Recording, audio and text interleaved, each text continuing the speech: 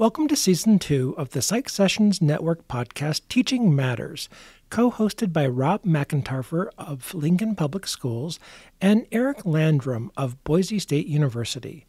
These 10 episodes in our second season were recorded from the beginning of May through the beginning of September 2021.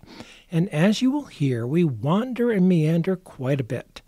However, there are themes for us that emerge, such as the roles that AP psychology and IB psychology play in U.S. high schools, the continuing challenges of assessment, and how scaling innovative pedagogies makes utilizing those principles all the more difficult.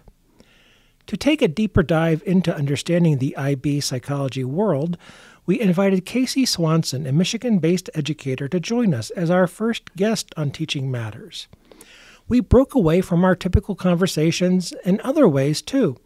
For one episode, we chatted about Albert Bandura, and Eric shared some stories from his own personal interactions. One episode in season two had to be marked explicit. And if I repeated that word here in the introduction, then I would end up having to mark all of these episodes explicit we end season two stumbling on what perhaps could become a subtitle for our Teaching Matters series here. See what you think. Teaching Matters. Oh, Rob, but Eric? I am not going to give you any more context than that, my friends. You'll just have to listen. Please enjoy listening to season two of Teaching Matters. Oh, Rob, but Eric.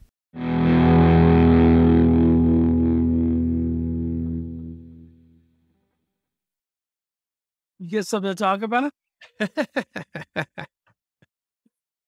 um, I'm trying a pedagogical thing in the AP research class that I'm teaching that might be I'd like your reaction to, and it might be useful to somebody who's listening. I don't think it's particularly innovative, but it might cross apply to other classes. Sure.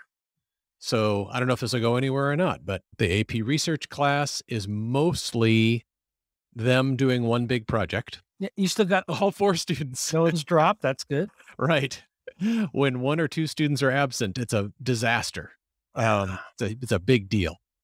But since the majority of the class is them doing one big project, I thought it'd be useful to, to have a way for them to keep track of their thinking, like a lab notebook idea. So yeah. when I worked at a, when I was the dishwasher and ran simple experiments at the biochemistry lab at University of Nebraska Lincoln East Campus. We had a physical lab notebook, and the professor in charge showed me how to keep write down everything in the old brown cover green paper lab notebook that they always used. With carbon paper? With uh, yes it had carbon paper in it and so i was trained a little bit in how at least he and his lab kept track of things. So it's like that but digital. So there's one big Google Doc that I set up at the very beginning, and each student has their own copy of the Google Doc. And then it goes week by weeks, week by week. So I have bookmarks set up on the first page that jump down to each, each week. Okay. And then in each week, there's space being text boxes for six tasks. So when we come up to a task during the class, sometimes I have it pre-planned in a slide. Sometimes it just comes up. I'll say, please jump out to your lab notebook. In task one, please do this. And everybody will stop and do that in task one. Sometimes it's pre planned. So I'll say uh, there'll be a slide that says, in week two, task three, please brainstorm five ideas for your final project, phrase them in the form of a research topic and one possible research question. So I don't pre populate the exact questions in the lab notebook because some of them are just going to come up and I want the freedom. Plus, I'm not planned out that far. I'm planning week by week, but there's space. Just in time planning. Yes. But there's space for six different things out in this Google Doc. So, what they'll have then when I am looking at their work, so I can use that information in my planning, I just go into the into their lab notebook and then when I'm scoring stuff, the stuff that I really need to score for understanding and put in the grade book, I go the same place. And then they'll walk away from this with the lab notebook that they can always refer back to. And then I'm thinking for parent teacher conferences, and I have no idea how that'll work. I have no idea if any of my four parents will even want to do that. But what I would really look forward to would be instead of opening up the grade book, I just show them the lab notebook. So I'm intrigued on multiple Mhm. levels. So it, have you found it easy for them? Are they seeing each other's work? They're not yet. When I will have to cross that hurdle when uh, we get to peer feedback, and we will be doing that. They'll be giving each other a lot of peer feedback when they're actually writing drafts of their abstract and things like that. That won't be hard in Google Docs. It'll just be something that I have to manage, and I have to decide if I always want them to have access to each other or is this just temporary access to each other's. And is it relatively easy to navigate? I'm not a Google Docs. Not only am I not efficient in it, I'm really not a fan. I use it Ah. when I'm forced to. Okay. It does have some nice shared editing features across Yeah. people, but its formatting features are inferior, it seems, if you have Hmm. Precise formatting like a manuscript for APA format. Yeah, I. I haven't figured out the control like I have in Microsoft Word. Yeah, I, I would definitely agree with that. It's it's inferior to Word as far as really precise formatting. One other nice thing that we'll do for my students, and I'm not sure it would be eh, that it's college level ready, but I think it'll be okay for my high school students. There is a citations tool built into Google Docs. So you just go over to the tool menu, and come down to citations, and it's not automagic. You have to fill out a form basically Yeah. for every citation you're putting in. But then it, you can choose MLA or APA or Chicago, and it will handle in text and reference page formatting, which is nice. Have you played with Microsoft OneNote very much? I've heard of that where where public school systems are either it seems like the landscape has been carved up by Microsoft and by Google. You're either a Microsoft district or you're a Yeah, Google it's a. Microsoft product. It's part of Yeah. their suite. And if you buy the basic, cheapest suite, you probably Yep. won't get it. Yeah. If you get the Microsoft Pro suite, and I don't know Yep. where the, the cutoff is, and I'm I'm not a power user in any way, but what you're what you're creating in your relatively complex Google Doc, to what it sounds to me, Yeah. is I think baked into OneNote. And I've watched OneNote users who are power users, and it's really impressive. Cool. I think Sue Frantz would be one of those people where you can have tabs, and tabs can get broken down into folders. And so you could have the week one lab notebook, and then hmm. each of the four students has their own tab within week one Cool. and then you there's probably settings where you could say share or not share or share for a limited time and then have that expire and Okay.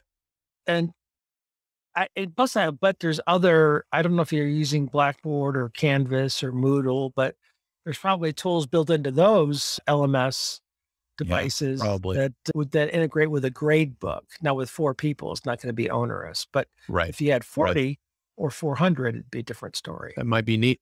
And I was smiling because I can't, I'm not sure I could name a technology tool that Sue Frantz is a non-power user of. But Well, I think she I think she dabbles in a lot of Yeah. just to understand them, but the ones that she chooses to, to use, I think you're exactly right. Yeah. Uh, if she gets into it and uses it for a, a quarter at Right. Highline, uh, she will become a power user. Absolutely. So the larger issue that other people might be interested in is this is my first this first time where I've taught a class where I've tried to put get one spot where students reflect all of their thinking in a more of a portfolio kind of idea. Mm-hmm. And so far I'm liking it. And I think as a student, for some of my classes, not for all my classes, but I think for some of my classes, I would have really appreciated having all of my thinking reflected in one place in a certain order so I could see the progression of my thinking. So I'm hoping there's some power to that. And I don't know if it's appropriate for all classes, but I like I'm liking the idea right now. Yeah, you're assuming that and that students are going to be savvy enough where A, they'll appreciate the power of reflection, and B, they'll be so savvy they appreciate the power of reflection that it's all in one place. True. And see, they'll appreciate that it's all in one place and that they'll actually go back and look at it at some point. Yeah. Yep, it's true. And some of that is baked into this class because later on they're going to need to look back at one of the things that I really want to measure later on in this class is how much students thinking about their research topic changed over time based on the literature review and then based on the data that they collect. And I'm asserting that you're changing about you're thinking about your research topic better change over time.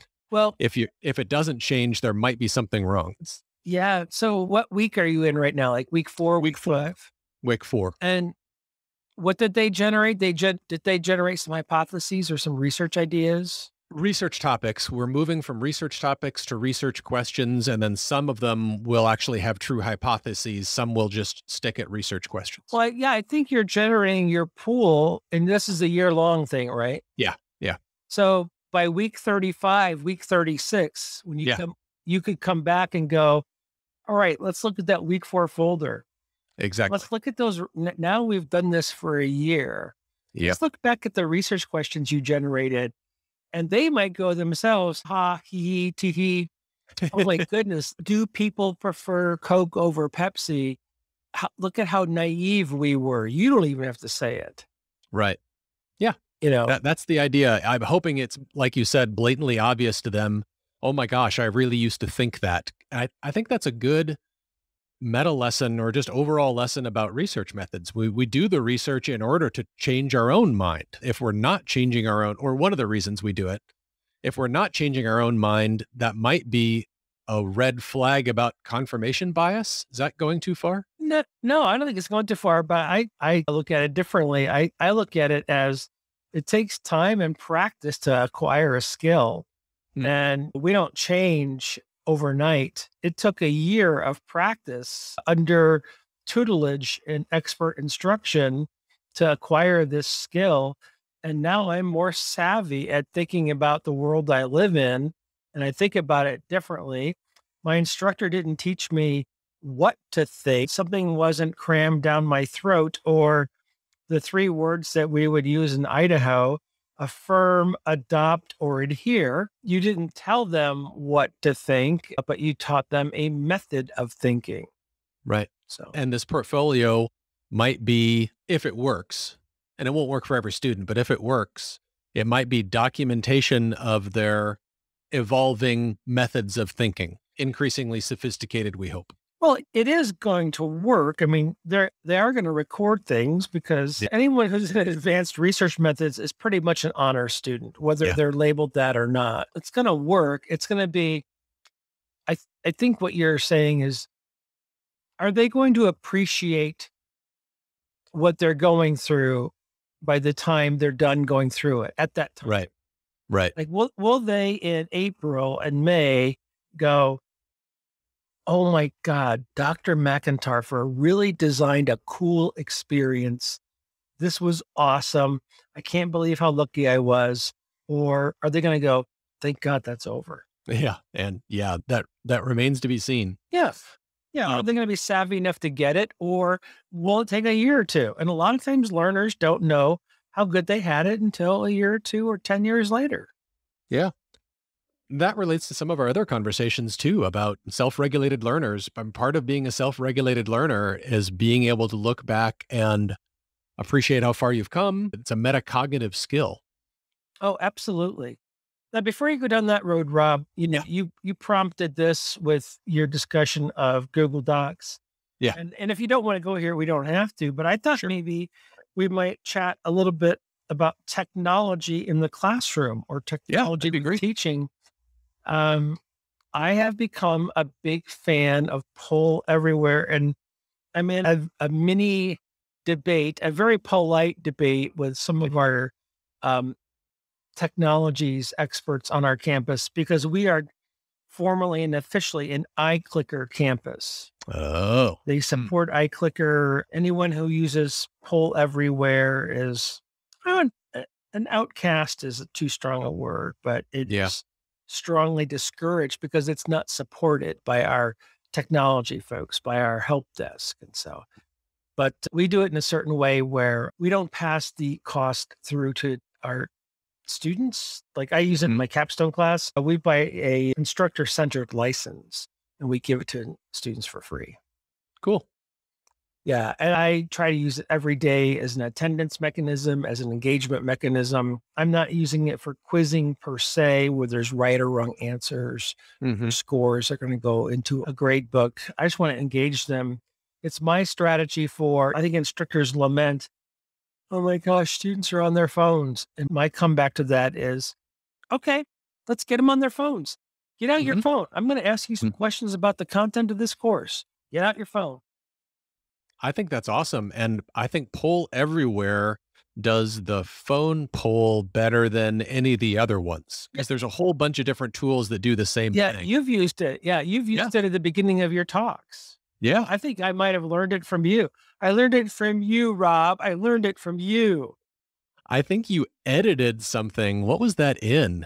I got edited by you and I used data that I gathered via Poll Everywhere. I think you wrote a book chapter for something. Yeah. I was editing the book or something. and the protocol and I, I should do this more often but the way i gathered the data i think might be powerful for just about any teacher who wants to either use iClicker or, or, or poll everywhere or a bunch of different things before i did a class demonstration it was a class demonstration on i think it was operational definitions i believe i wrote a multiple choice question had students before the demonstration they'd read that they'd read about this in the textbook but before the demonstration they answered the multiple choice question.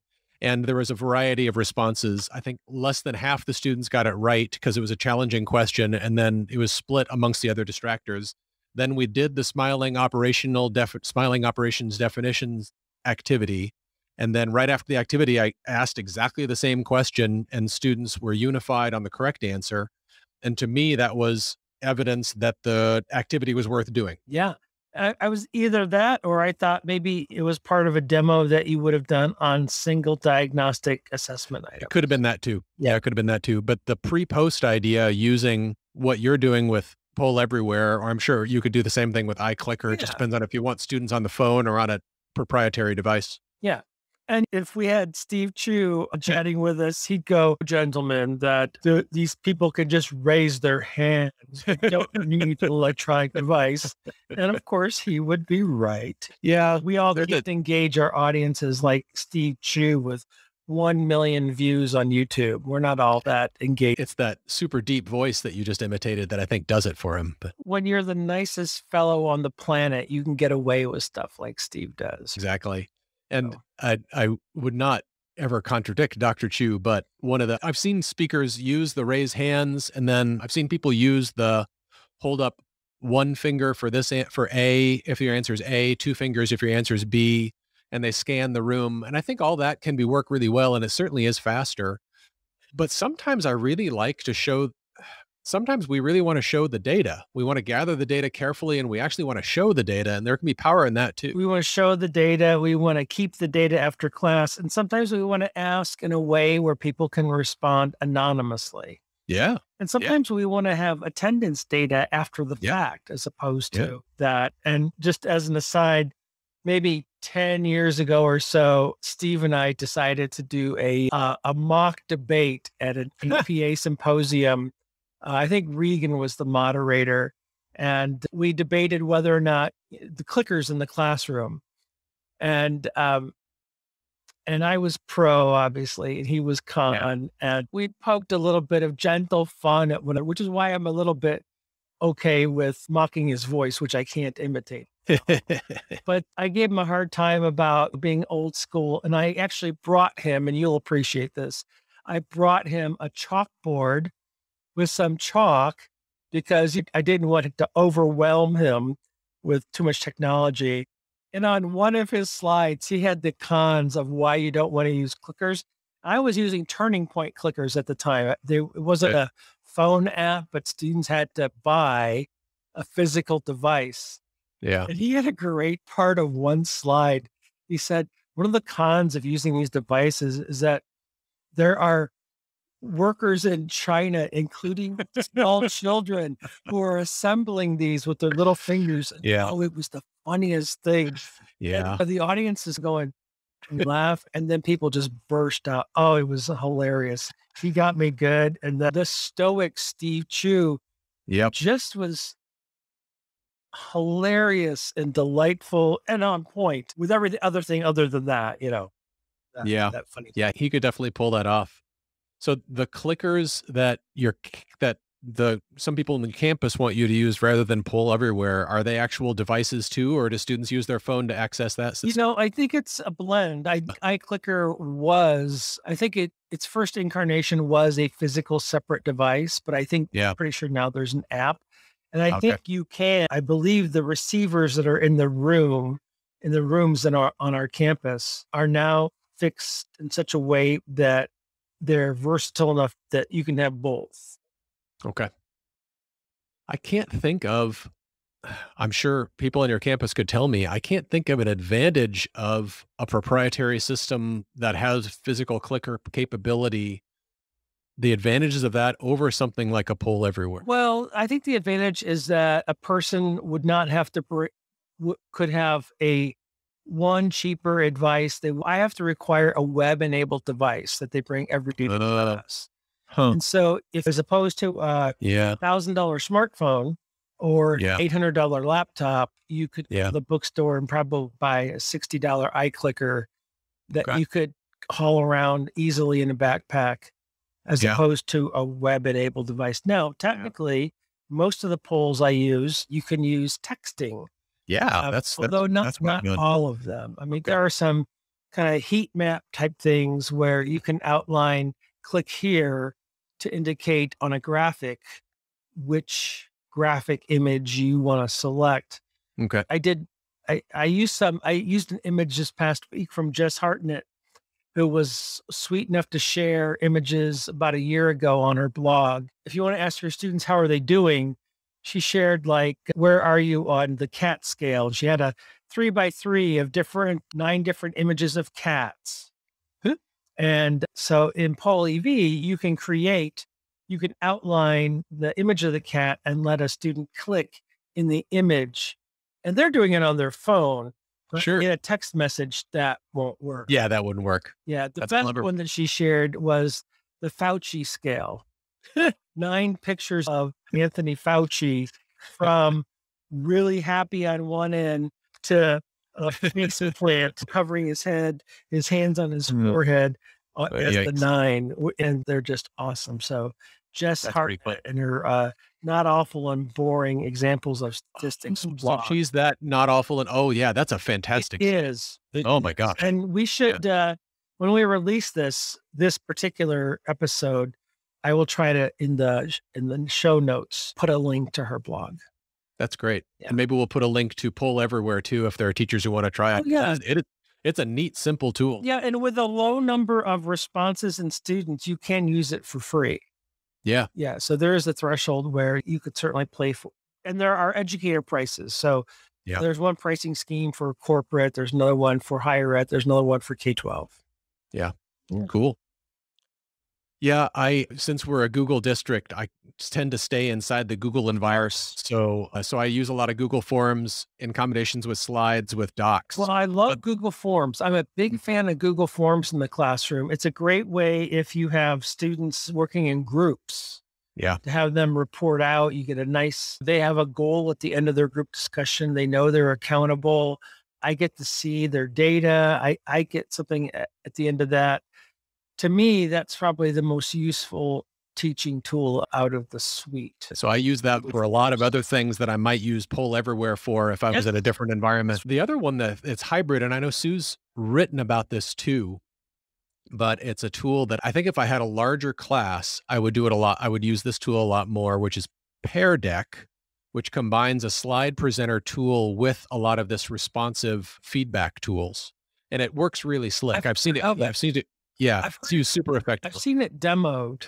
Yeah. What's the other one? Is it There's Perusall? oh, I don't know about that. one. I, I I've seen that one demoed lately. It, it looks, or is Pear Deck the one where you get statements and you have to sort them into columns? there's a lot of different formats. The the the concept of Pear Deck is you've got your slides. Pear Deck allows you to insert a question slide right in your deck. Oh, and then students can respond on their device to that question slide. And then the next slide that shows up are the results of what they said. oh, okay. So it just basically builds, it's like embedding a bunch of poll everywheres inside a slide deck. Okay. Yeah, I'm afraid that I'm still old school PowerPoint. I never really did much with Prezi when it came out. Yeah. I mean, It made me too dizzy. Yeah, me too. Oh man. I never saw the advantage of that. And actually, I think I remember when I was using Poll Everywhere more often, I think you can embed. Do you embed Oh, I Poll do. Everywhere? Okay, so that works slick. That that that is a lot like I think Pear Deck. Yeah. Decky. And so, yeah. And so I activate the poll everywhere slide from within um, a PowerPoint, let it go active, let my students respond, lock it, close, Nice. deactivate it, and then show the results instantaneously. Cool. That's very much what Pear Deck does, but Pear Deck does it in a, Google Slides environment. Yeah, I've just never been impressed with Google Slides, and I've seen too many speakers, either on my campus or at conferences, have crash and burn issues with Google Slides. Interesting. Interesting. Yeah, I mean, a l- a- and many of them do well, but and I've actually, I think I've seen a few people who created in Google Slides and then converted to PDFs. Mhm. That makes a lot of sense. Uh, Sure. because a PDF is not likely to fail. Right.